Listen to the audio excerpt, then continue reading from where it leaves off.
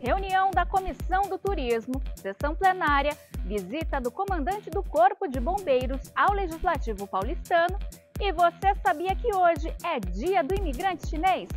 Fique ligado no Câmara Expressa que eu te conto os destaques desta terça-feira.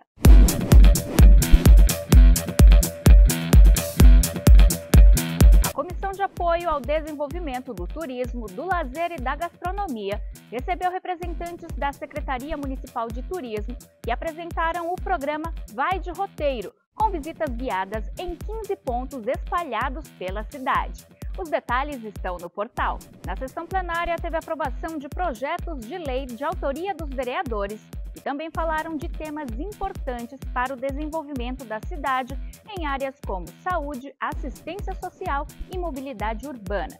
Você pode ver tudo na íntegra no canal oficial da Câmara no YouTube. Hoje, o presidente do Legislativo paulistano, vereador Milton Leite, recebeu o comandante do Corpo de Bombeiros no estado de São Paulo, Coronel Jefferson de Mello, e recebeu a medalha do Brasão da Câmara em agradecimento aos serviços prestados à população.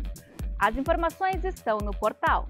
E hoje, 15 de agosto, é comemorado o Dia do Imigrante Chinês. A data foi escolhida porque, no mesmo dia, no ano de 1900, foi registrada a primeira entrada oficial de chineses no Brasil. Acompanhe ao vivo pelo YouTube ou pelo portal A Solenidade aqui na Câmara. Acesse sãopaulo.sp.leg.br ou youtube.com/câmara São Paulo. Boa noite e até a próxima!